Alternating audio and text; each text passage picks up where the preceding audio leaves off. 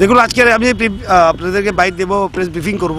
সেটা তেরো তারিখে যে মিটিং হওয়ার কথা ছিল, যে কার্যক্রমের কথা ছিল, আস্তবল ময়দানে, সেটা সম্বন্ধেই।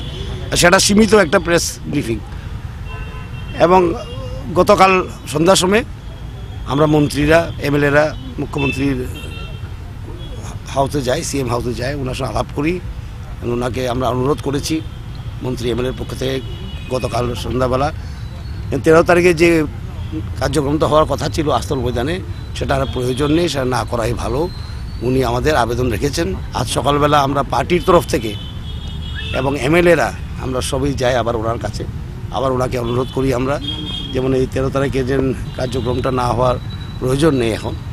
এবং আমাদের কেন্দ্রীয় নেতৃত্ব ওনার সঙ্গে আলাপ করেছেন নাড্ডাজি আমাদের সর্বভারতীয় সভাপতি, আমাদের কেন্দ্রীয় প্রভারী, সোনকারজি ওনার সঙ্গে আলাপ করেছেন এবং আমাদের মাননীয় মুখ্যমন্ত্রী উনি আমাদের আবেদন রেখেছেন।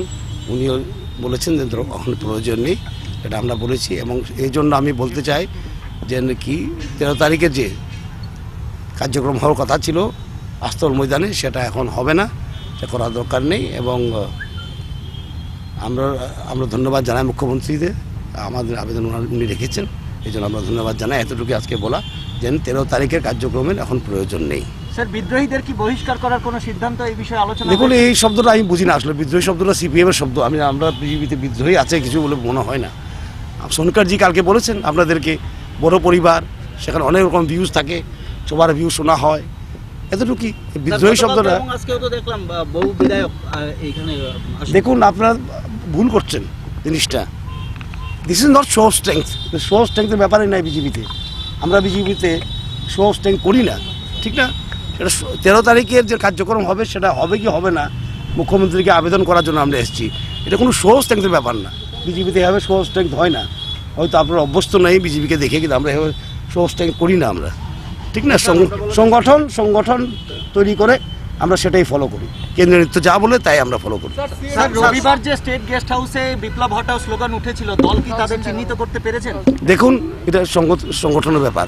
সেটা এখানে রাস্তার দাঁড়িয়ে বলা যায় না। এবং আমাদের যে রাজ্য সভাপতি আছেন যদি উনি বলতে চান এই বিষয়ে উনি বলবেন পরে। স্যার সিএম এর ঘোষণা কি সরকার কিংবা দলকে না জানিয়ে করেছিলেন? কেন? ব্যক্তিগতভাবে। কি ব্যাপারে বুঝলাম না। ঘোষণাটা যেভাবেই হোক কিন্তু দল বলেছে এটা এখন প্রয়োজন নেই। আমরা আবেদন জানিয়েছি সিএমকে উনি গ্রহণ করেছেন। দল কি আগে জানতো এই মানে এই প্রশ্নটা তো কোনো এটা কোনো প্রাসঙ্গিকতা নাই এখন। এখন প্রাসঙ্গিক এই যে আমরা আবেদন করেছি উনি আবেদন মেনেছেন। দল বিধায়ক আজকে বিধায়ক মণ্ডলী এবং মন্ত্রিসভা বিপ্লব কুমার দেবের প্রতি পূর্ণ সমর্থন রয়েছে মুখ্যমন্ত্রী হিসেবে। আমরা বলেছি এই মিটিংয়ের প্রয়োজন নেই এখন। আর কেন থাকবে না? না থাকার প্রশ্নই উঠে প্রথম কথাটা হলো যে এই যে সভাটা মুখ্যমন্ত্রী সচিবালয়ে বসে মুখ্যমন্ত্রীর নামে সভা ডেকেছেন এগুলো আস্থা অর্জনের সভা। আমরা যেটা শুনি যে আপনাদের মিডিয়ার মারফতে আর কি।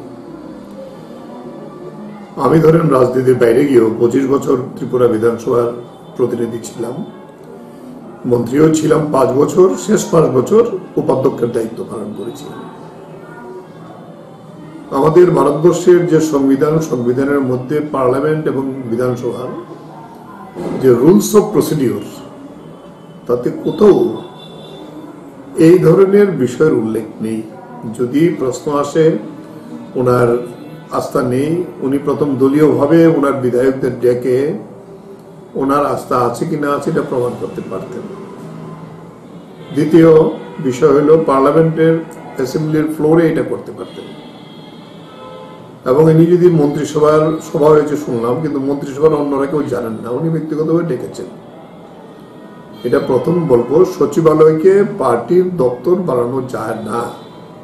এবং এই কাজটা বিজেপি দিল্লিতেও কিছু কিছু ক্ষেত্রে করছে, আর এখানে তো নির্লজ্জ উদাহরণ আমরা দেখলাম।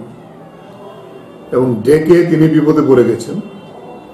যে তাদের যে দলীয় যে কুন্দলটা, যেটা ওই দিন আমাদের সরকারি অতিথিশালায় আমরা প্রত্যক্ষ করলাম। এই কুন্দলটা দলের মধ্যেই ছিল।